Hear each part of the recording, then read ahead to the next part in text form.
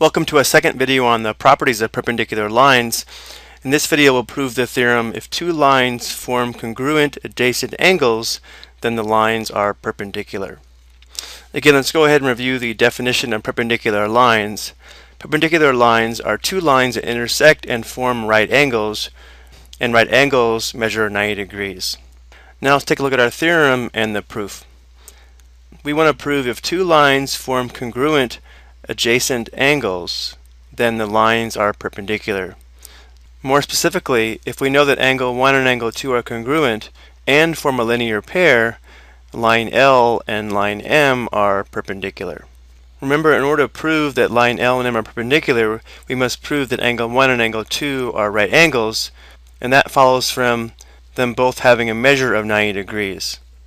So let's think how we can devise this proof.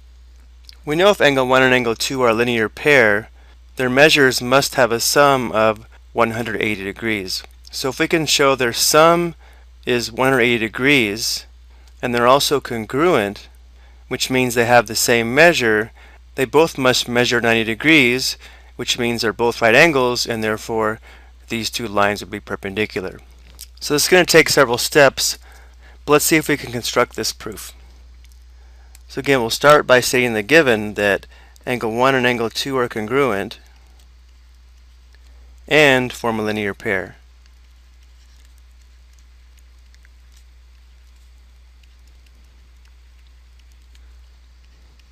This is given.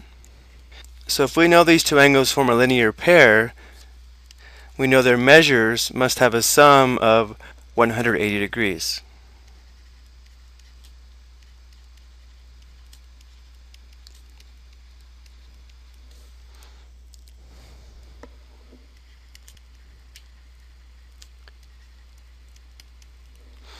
And we also know that the measure of angle 1 is equal to the measure of angle 2, and that's by definition of these two angles being congruent. So definition of congruent angles.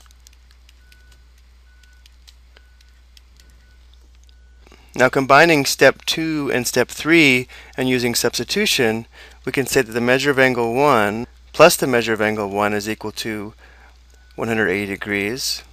Again, by replacing measure of angle 2 with the measure of angle 1 since they are equal to each other.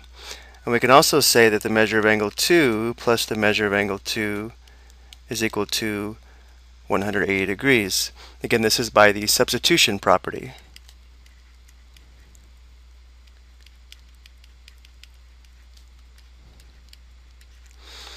And now let's go ahead and use some algebra here. The measure of angle 1 plus the measure of angle 1 is going to be 2 times the measure of angle 1 equals 180 degrees. We could also state that 2 times the measure of angle 2 is equal to 180 degrees. And this would be true by combining like terms. Now if we divide both sides of the equations by 2, we can say the measure of angle 1 is equal to 90 degrees, and the measure of angle 2 is also equal to 90 degrees. And this would be by the division property of equality.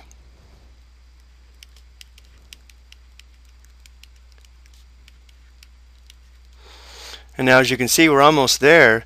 If these two angles have a measure of 90 degrees, that means angle 1 and angle 2 are right angles. And this is by definition of right angles.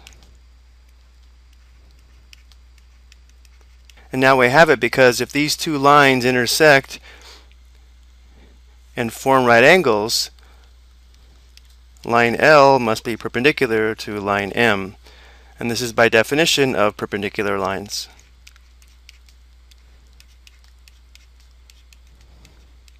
This is kind of a nice proof because it combines some of our geometric definitions with some of our algebraic properties that we saw previously in the class.